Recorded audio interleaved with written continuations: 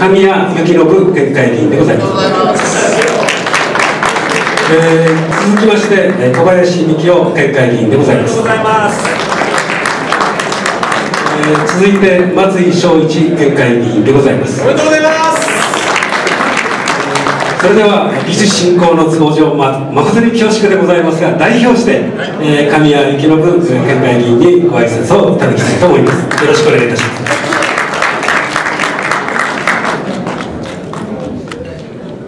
えー、皆様新年明けましておめでとうございます、えー、ご紹介いただきました県議会議第104代の副議長を授かっております神谷と申します、え小林県に松井県に揃って、え今日はご出席をさせていただいておりますけれども我々3県に仲良くですね挨拶は順番で1年間通して回しております、まあ、今日は新年のスタートということで、まあ、すごろくで言えばスタートに戻るということですから、まあ、私の方から代表してご挨拶をさせていただきたいと思います、えー、ただいまは市長木村海斗そして福田大医師からお話がありました。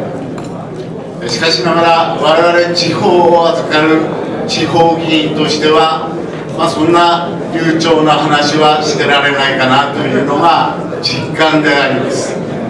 私は失われた10年というよりももう新世紀になってから失われた20年ということで理解をしているつもりでございます。やはりこの地方を守る身としてはやっぱり国にどんどん意見を申し上げていかなければなりません。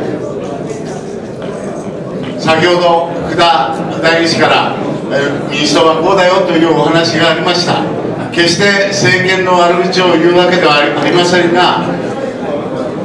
新しい政権を作るときに自民党ができなかったことに手をつけますよという公約のもとに出ていただきました。そして皆さんもご期待をして、まあ、新政権が誕生したと。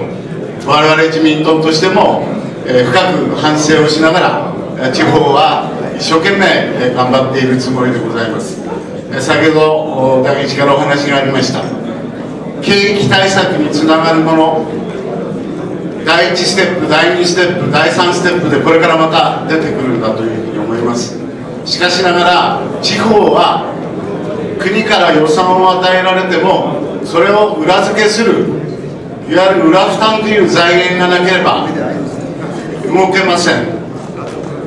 それを予測して第2ステップの時には県がどこまで裏負担を出せるかという予測をさせていただいて130億140億近くの補正予算の市長市と町を含めてですね140億近くの補正予算を12月に組みました。近県で言えば群馬や茨城は90億台だったそうです。それはやっぱり裏負担ができないという突発的にこのお金を出しますよと言われても瞬時に県が対応できる市が町が対応できるということではないということです。やはり予測していかに財源厳しきよりであってもせっかく国からいただけるものがあるんであれば対応していくのが地方議員のやり方だということでえ、県としては140億近い、え、12月の補正を議会を通させていただきました。これからは3月に向けていち早くその予算を使われるようにしていきたいというふうに思っております。しかし、まあ、私が思うんでありますけれども今年度は、まあ、うさぎ年飛躍の年ということでありますけれども飛躍するためにはやはり足元を見つめ直すということが寛容かなというふうに思います。私は本年は再構築再整備の元年というふうに歌わせていただきたいと思っております。我々県にも4月には再スタートを切らさせていただかなければなりません。地方の議員は地方の議員らしく政治に責任を持ってやらさせていただきたいと思ってお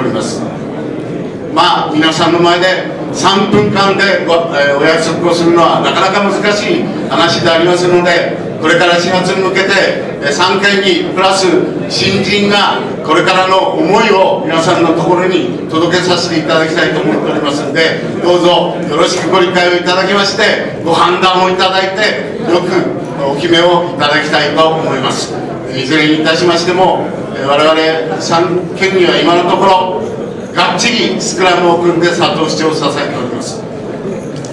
やはり鹿沼が元気になる栃木県が元気になるそれをまず基本に政治に責任を持って今年1年頑張ることをお約束をさせていただきまして本日お集まりの皆様の今年今年1年が本当にいい年になりますよう元気が出る年になりますようご記念を申し上げまして、えー、三県を代表してのご挨拶に、えー、変えさせていただきます。本年もどうぞよろしくお願い申し上げます。